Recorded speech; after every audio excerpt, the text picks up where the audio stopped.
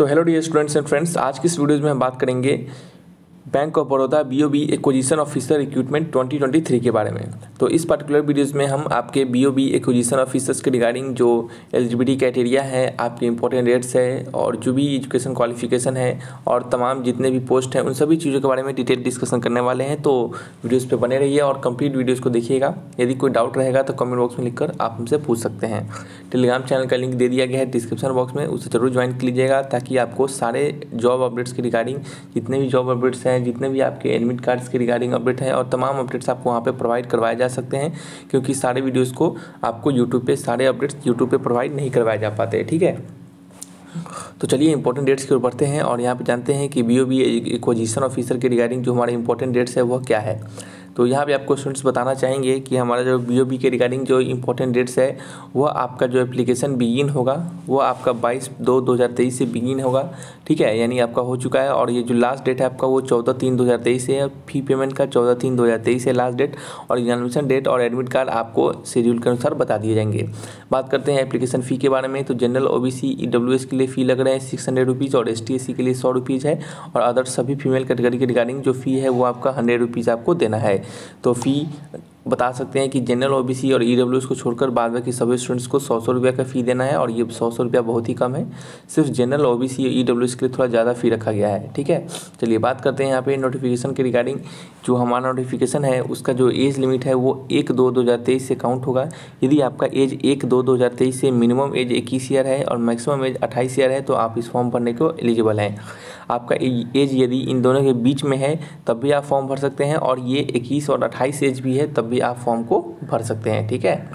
चलिए बात करते हैं कि ये जो पोस्ट है, वो किन पोस्ट के लिए वैकेंसी को निकाला गया है और टोटल नंबर ऑफ़ पोस्ट यहाँ पे कितने सारे हैं?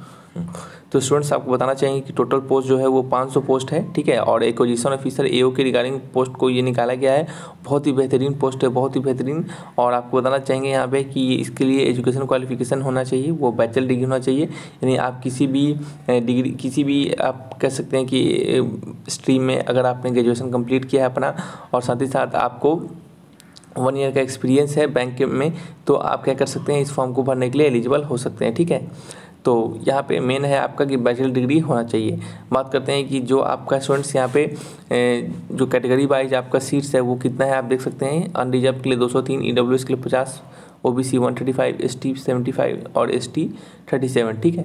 टोटल पाँच सौ सीट्स है यहाँ पे। बात करते हैं थोड़ा सा और इसके बारे में कि इसके सिलेक्शन प्रोसेस इसमें और भी तमाम जानकारी क्या है। तो चलिए, सबसे पहले हम यहाँ पे डाउनलोड कर लेते हैं नोटिफिकेशन नोटिफिकेशन हमारा डाउनलोड हो चुका है स्टूडेंट्स और अभी इसको खोलते हैं और इसके बारे में थोड़ा सा और जानकारी लेते हैं। तो चलिए स्टूडेंट्स आपको बताना चाहिए चाहेंगे यहाँ पे कि जो सिलेक्शन प्रोसेस है, इसके सिलेक्शन प्रोसीजर है, वो किस प्रकार से होंगे? तो यहाँ पे आपको बताना चाहेंगे कि यहाँ पे सबसे पहले आपके ऑनलाइन टेस्ट होंगे और ऑनलाइन टेस्ट होने के बाद आपके साइकोमेट्रिक टेस्ट होंगे और उसके बाद अदर टेस्ट होंगे, जिसमें कि आपको ग्रुप डिस्कशन हो सकता है इंटरव्यू हो सकता है और ये तमाम चीज़ें आपके हो सकते हैं, ठीक है? सबसे पहले आपको बता दें कि ऑनलाइन टेस्ट में आपके जो सिलेबस होंगे, वह क्या होंगे? तो ऑनलाइन टेस्ट का जो सिलेबस होगा, उसमें इंग्लिश होगा जनरल लैंग्वेज होगा क्वान्टिटिव एप्टीट्यूड होगा और जनरल नॉलेज होगा, ठीक है? तो reasoning English language quantity aptitude और जनरल नॉलेज इनसे आपके क्वेश्चन पूछे जाएँगे। टोटल क्वेश्चन जो होंगे वो हंड्रेड क्वेश्चन होंगे और मैक्सिमम मार्क्स भी हंड्रेड होगा और टाइम ड्यूरेशन नब्बे मिनट का आपको दिए जाएँगे और बाईलैंग्वेज होंगे, यानी दोनों लैंग्वेज में आपको प्रोवाइड करवाए जाएँगे। इंग्लिश को सिर्फ़ इंग्लिश में दिया जाएगा सिंपल बात है, ठीक है? और मिनिमम जो क्वालिफिकेशन होगा वो फोर्टी परसेंट होगा जनरल कैंडिडेट के लिए और थर्टी फाइव परसेंट होगा रिज़र्व कैटेगरी वाले के लिए, ठीक है? और बाद में इसके ओवरऑल भी कट ऑफ़ को निकाले जाएँगे, ठीक है? चलिए, ये होंगे आपके कह सकते हैं प्रोसीज्योर फिर दूसरा में आपको क्या होगा, जब जो भी स्टूडेंट्स पहले आपके ऑनलाइन टेस्ट को निकाल लेंगे, उनके लिए फिर ग्रुप डिस्कशन होगा। ग्रुप डिस्कशन के बाद पैनल इंटरव्यू भी हो सकता है उनका, ठीक है? और इसके थ्रू क्या होगा, उनका चयन होगा, ठीक है? चलिए स्टूडेंट्स आपको आपको थोड़ा बता दें यहाँ पे कि जो आपको किस किस सिटी में आपको एग्जामिनेशन कंडक्ट करने के लिए बुलाया जा सकता है।